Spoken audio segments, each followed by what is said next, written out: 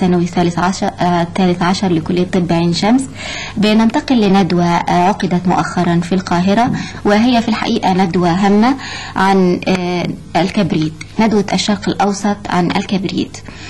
وأيضا استخدامات الكبريت في الزراعة والصناعة.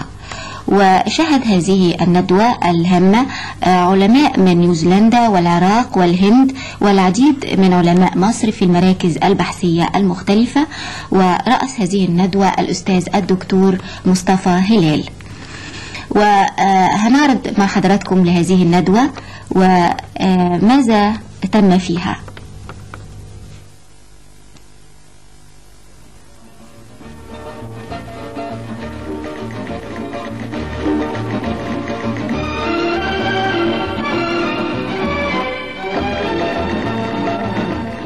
ديت تعتبر أول ندوة تعقد في جمهورية مصر العربية وهي وليدة عمل شاق وجاد لمدة ست سنوات تعاون فيه المركز القومي للبحوث ومعهد بحوث الصحراء وجهاز البحوث والدراسات بوزارة التعمير. ال- المشروع ده كان مختص باستخدامات الكبريت في استصلاح الأراضي والتنمية الزراعية والكبريت ده موجود بيبقى موجود في بعض المناجم والفريق قدر عندنا يركز خام الكبريت بطريقة اقتصادية رخيصة فيطلع لنا كبريت أرخص بكتير من اللي موجود في السوق عشان المزارع يقدر يستخدمه. الحقيقة خلال ست سنوات الكبريت استخدمناه في جميع تقريبا أنواع الأراضي المصرية. هو فنجح في الأراضي الجيرية بشدة نجح في الأراضي القلوية والأراضي الملحية وزرعنا 18 محصول في بعض الأحيان كانت المحصول بيزيد 100% وفي أحوال أخرى كان بيزيد 8 أضعاف. الكبريت لما بيضاف بيضاف- بكميات مختلفة ابتداء من 100 كيلو للفدان وتوصل ل 2 طن يتوقف على نوع الأرض نفسها. وأنا بقول إن ديت عملية كاملة عشان ما فيش حد من السادة المزارعين يسمعنا ويروح يضيف الكبريت ممكن أو يضيف كميات كبيرة وتبقى ضارة بالنبات. كل أرض لها كمية معينة لازم تضاف وإذا أضيفت الكمية في هذا الكمية المناسبة في الوقت المناسب من الضروري إن هي هتديله زيادة كبيرة في الإنتاج. الحقيقة إحنا حتى من الناحية الاقتصادية اختبرناه. آه، حسبنا الفوائد اللي ممكن تعود على المزارع المزارع آه، ونسبناها لثمن الكبريت اللي مضاف. في بعض الأحيان كان ممكن على خلال ثلاث سنوات يديني 12 جنيه لكل جنيه أدفعه في الكبريت.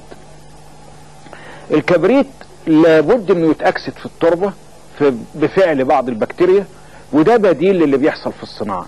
الصناعة بتاخد الكبريت وتأكسده لحامض الكبريتيك ومن حامض الكبريتيك بتصنع جميع الأسمدة أو معظمها اللي هي من السوبر فوسفات وسلفات النشادر وكبريتات البوتاسيوم وأسمدة أخرى كلها مصنعة من الكبريت. اللي إحنا بنحاول نعمله بنقول إن هو في التربة بيتأكسد بيولوجيا وبدل ما أنا أصنعه بره ما أنا ممكن أضيفه مباشرة.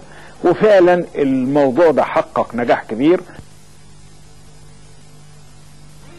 سيدنا أن نستضيف معنا اليوم الدكتور روبرت موريس نائب مدير معهد الكبريت الدولي بواشنطن. آه، الدكتور روبرت موريس بينه وبين ال- المعهد الكبريت في واشنطن بيتعاون مع المركز القومي للبحوث منذ قرابة أربعة سنوات. في مشروع لاستخدامات الكبريت في الزراعة والصناعة وعلى رأسها استصلاح الأراضي آه، الدكتور روبرت موريس إحنا هنوجه له ثلاث أسئلة ويسعدنا إن هو يجاوب عليها.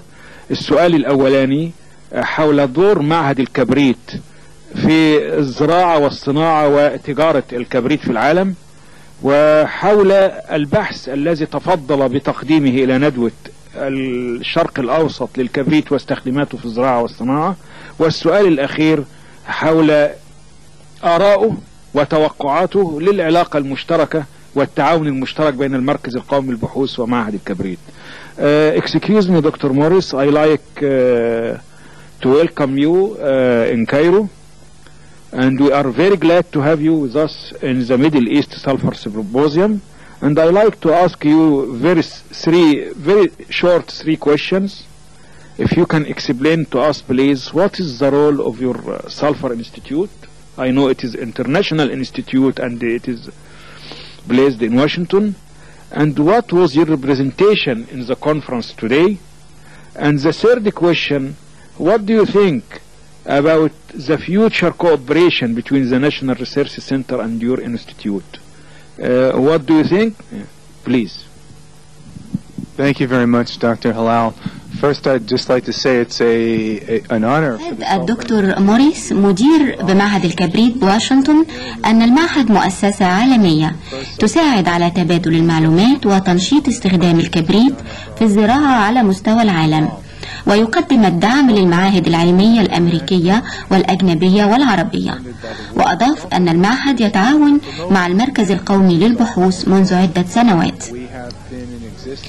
We have been in existence for 30 years. وعن البحث الذي قدمه للندوة فهو عن الإنتاج العالمي للكبريت واحتمالات المستقبل وأصبح الكبريت سلعة عالمية هامة لدخوله في صناعات هامة منها صناعة الأسمدة وأيضا الاستخدام الزراعي Uh, we are involved in research activities around the world, both in industry and in agriculture.